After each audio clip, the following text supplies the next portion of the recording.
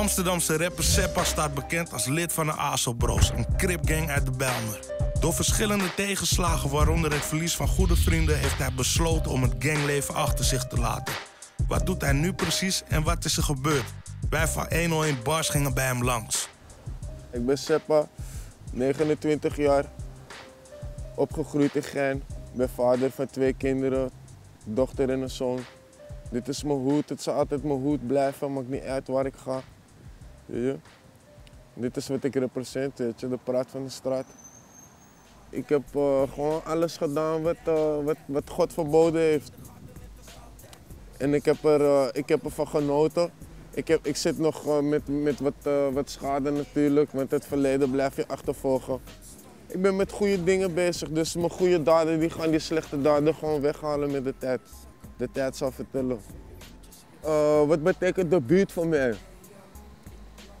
Mijn buurt, ja, is een leuke plek om te zijn. Ik heb uh, goede herinneringen, slechte herinneringen. Het heeft, me, het heeft me gemaakt wie ik ben.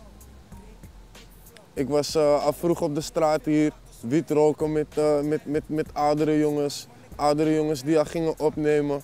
Zo ben ik erachter gekomen dat ASO Bros ook bezig waren met rap. Begon ik al vroeg, vroeg mijn teksten te schrijven. Dus de buurt zet ik, zet ik met mijn muziek en mijn verhaal ja, zet ik de buurt gewoon een beetje op de map. En ik hou van mijn buurt. Ja man. Ik heb mensen in de straat die over me praten. Sint binnen Iron Mike die over me waken. Ik wil weten waar mijn engelen zijn. Ik lach met je, maar ga dood van de pijn. Sint Quinn heeft ons verlaten, weet je. En uh, dat was voor mij al zwaar. Ik bleef mijn blauwe, blauwe zakdoek gewoon nog dragen. Weet je, met trots ook. Omdat, omdat het, weet je, het is een vriend van mij die ik ben verloren. En ik zou altijd trots zijn dat het mijn vriend was en dat ik met hem ben opgegroeid. En ik zou hem altijd missen. En kort daarna is, is Iron Mike ook van ons weggegaan. Dus de motor van Aso Bros en de stoerste jongen is van ons weggegaan. Weet je? Dus ons team was uiteengevallen, waardoor ik gewoon een, een andere weg ben gaan kiezen. En mijn, en mijn blauwe zak doe ik gewoon bij Iron Mike ook weet je, mee in zijn graf heb uh, gelegd. En voor mij was het gewoon, gewoon afgelopen. Gewoon. En nu ben ik gewoon verder met mijn eigen verhaal. Ik heb nog steeds love voor al die jongens. Ik zie ze nog steeds als mijn fam. Weet je, maar ja, ik moet gewoon een andere weg kiezen. Ook omdat ik, uh, weet je, grotere plannen heb met mijn muziek. Weet je, ik kies gewoon voor mijn muziek. De straat, uh, de straat is er altijd wel. Als Mikey hier was, dan zou het dik gaan. De praat van de straat, maar het gaat je niks aan.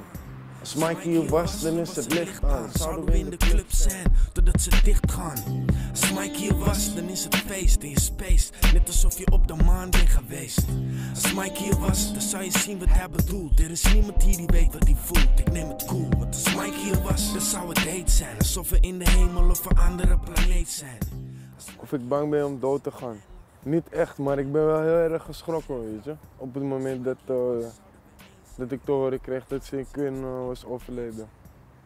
Dan laat je wel nadenken over het leven. Weet je, waar ben je nou mee bezig? Ja.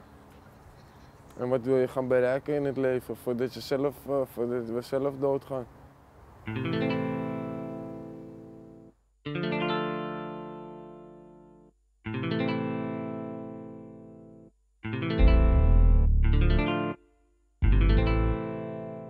Ik uh, begon gewoon met uh, freestylen.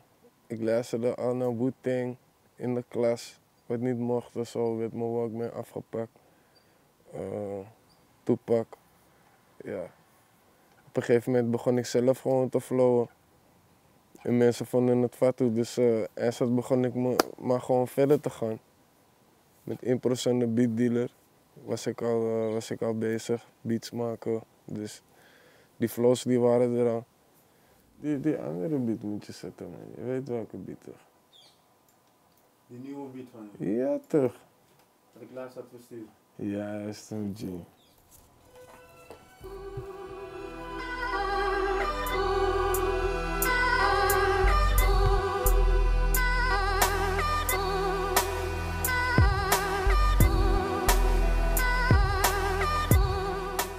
dit jaar ga ik uh, proberen nog uh, mijn album uh, voor, jullie, voor jullie klaar te hebben.